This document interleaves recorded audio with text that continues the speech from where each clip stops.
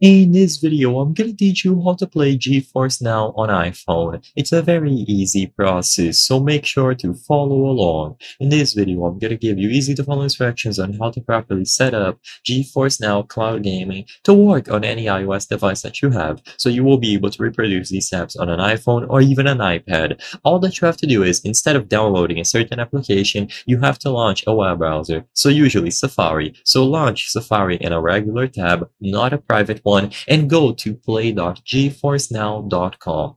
When you arrive at this page, you will be prompted to create a home screen shortcut, as you can see here.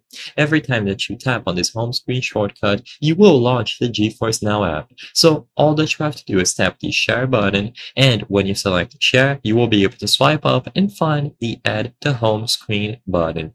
So when you launch GeForce Now from the home screen, you will be immediately redirected into the service. You will be able to sign into an account that has the subscription active, and you will be able to browse through their extensive list of games. You can optionally connect a controller and start playing.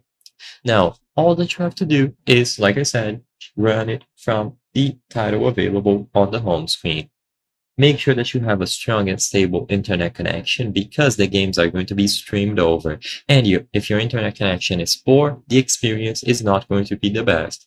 As long as you add the shortcut using the standard Safari web browser, this is going to be set up and you will be able to access the service and their extensive list of games. You will be able to sign into your account and choose from any of the plans available. You will be able to connect different accounts to play games that require a specific account such as Fortnite which requires your Epic Games account and so on and everything will work flawlessly on any iOS device. I hope I was able to help you on how to play GeForce Now on iPhone. If this video helped you, please be sure to leave a like and subscribe for more very easy tips. Thank you for watching.